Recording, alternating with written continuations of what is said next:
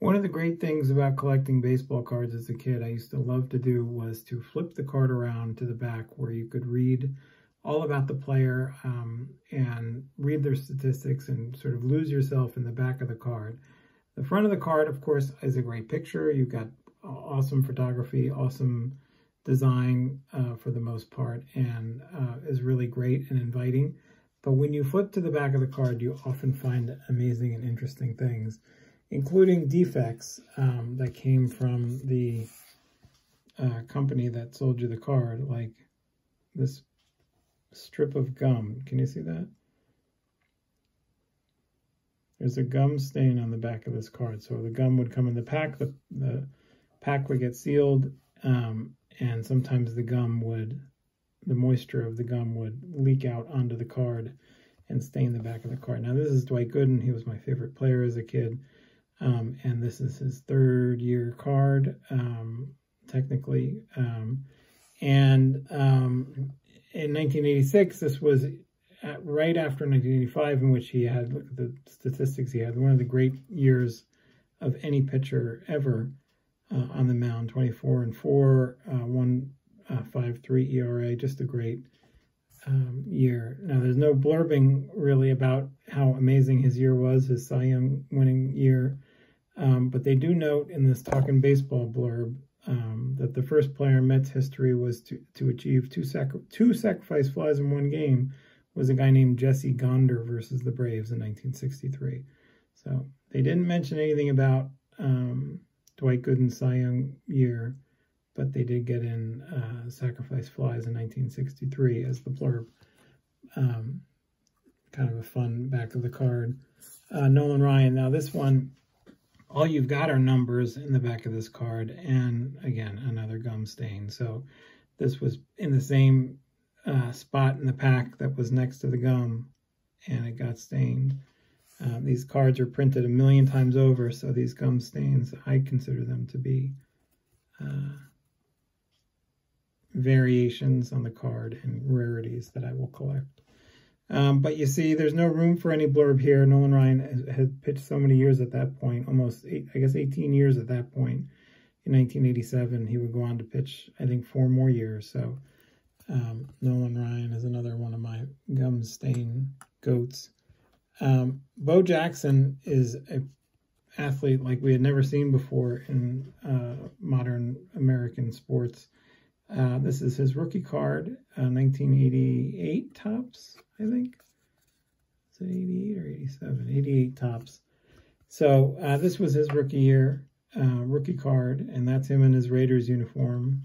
And on the back, you'll notice, again, the biggest, baddest gum stain stripe you've seen yet. Um, you can still read the card. Bo rushed for 221 yards, including a 91-yard touchdown run in against the Seattle Seahawks in 1987. That was the uh, game he ran over, um, what's his name, the linebacker, uh, Bosworth. Uh, he won the Heisman Trophy at Auburn. Uh, he set all kinds of rushing records, and Bo plays baseball with the Kansas City Royals, which is just an incredible sentence to, to write on a football card. Um, and that makes him a, a gum stain goat. Uh, and then you got Joe Montana, again, sort of fun adventures and cards here. He has another uh, gum stripe across the back of the card there. Very noticeable, like a chalk outline of a dead body, except it's gum. Um, and in this one, the the San Francisco 49ers had won the Super Bowl the year before, except and there was no mention of that on the back of this card. Um, it talks about his wife, Cass, uh, who he would eventually get married, uh, I think divorced with, uh, talks about his degree in business administration and marketing, uh, and that he played in the Cotton Bowl. So we got a Cotton Bowl mention, but no Super Bowl. Um, some record stuff. Um, and also, by the way, you can notice here underneath the gum, he was born uh, in Monongahela, Pennsylvania, but they shorten it, they abbreviate it. Can't get all those letters in. It's a long word. And then in his home, his current home, is in Manhattan Beach, Ka. So again, this is sort of copywriter's nightmare, Manhattan Beach and Monongahela, two very long words that got truncated uh, for Joe Montana's 1983 Topps card. And then um, there are cards that are just like, just incredible, have incredible stories on the back of them. And one such story is on the back of this card. And vintage card collectors know this card very well, so it's not a surprise to anybody who knows. Um, this is Eddie Waitkus, who played for the Philadelphia Phillies back in the late 40s and early 50s. Um, Eddie Waitkus was quite a hitter, uh, and I think made an all-star team at one point. Um, but, and that's the front of the card. And if all you knew was the front of the card, you see a little damage. There's a wrinkle and a little bit of staining. So this is like as ho-hum and not uh, notable of a card as you could ever want to see. But if you turn around and read the back of the card, you'll notice, so it says the vital st stats up there. But when you read the blurb, now read along with me here. I'll try and hold it still. Eddie had appeared in 54 games last season and was hitting at a 306 clip when he was shot and seriously wounded by a demented girl fan. He is fully recovered and looks for a big 1950 season. He has never hit lower than 292 in the majors, three years in the service on the 1948 All Star team, and was an honorary member of last year's aggregations. so Eddie Waitkus uh, was hitting 306 when his season was cut short when he was shot by a demented girl fan. Now, if that is a story that sounds familiar to you, it should. It is very reminiscent of the Bernard Malamud uh, book, The Natural, which was turned into a movie um, in the 80s uh, starring Robert Redford. Um, an incredible movie, an incredible story. And in that story, uh, Robert Redford's character gets shot by a woman in his hotel um, and misses uh, a good stretch of his career and has to come back later on to recover his career and becomes the natural. And it's that home run with the sparks flying and everything. So this was, could you imagine reading this card if you were a kid, this breaking news?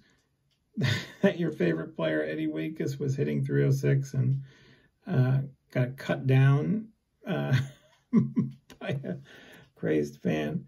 So that is the 1950 Bowman Eddie Waitkus blurb. Um, and there's some question about whether or not Malamud actually took uh, the story from Eddie Waitkus or not, and I don't have the definitive answer. All I can tell you is that his book, The Natural, his first novel, came out in 1952. Um, Eddie Waitkus was shot in 1950, so uh, I don't know, you do the math. Um, but if you're wondering for the conclusion of the Eddie Waitkus story, you need to get yourself a 1952 Topps uh, baseball card. This is the um, one of the greatest sets of cards ever produced ever. Um, and Eddie Waitkus is back and he's healthy. Look how vibrant he looks. Um, and this is a nice card, actually. I like this card. But if you turn it around, you can read. Now, don't read without me. So you got Edward Stephen Waitkus. Um, and now this one starts off, rejoins the story already in progress. Shot by a crazed girl in June 1949, Ed was close to death. He fought back and helped the Phils win the pennant in 1950, hitting 284 and leading the National League at first in putouts. During World War II, he won four battle stars and was wounded as an amphibious engineer sergeant in the Pacific. One of the toughest men in the league to strike out, Ed came to the Phils from the Cubs in 1949. His best marks were 304 in 46 and 306 in 49. So not only is he tough to kill, apparently. He's tough to strike out. So, um, an exciting conclusion. Uh, Ed Waitkus uh, survived uh, an assassin in a hotel. He survived uh, World War II as an amphibious engineer sergeant in the Pacific when he was wounded. Um, and he hit 306 in 1949. um, just incredible, incredible storytelling on the back of baseball cards. And that's why I love the backs of baseball cards. And they bring me eternal joy and brought me eternal joy as a kid. And they continue. The more I read, the more they, the better they get. Uh, gum, stain, or no, uh, 1950s, 60s, 70s, whenever. Um, it's really good stuff. And that's all I have for now. Thank you.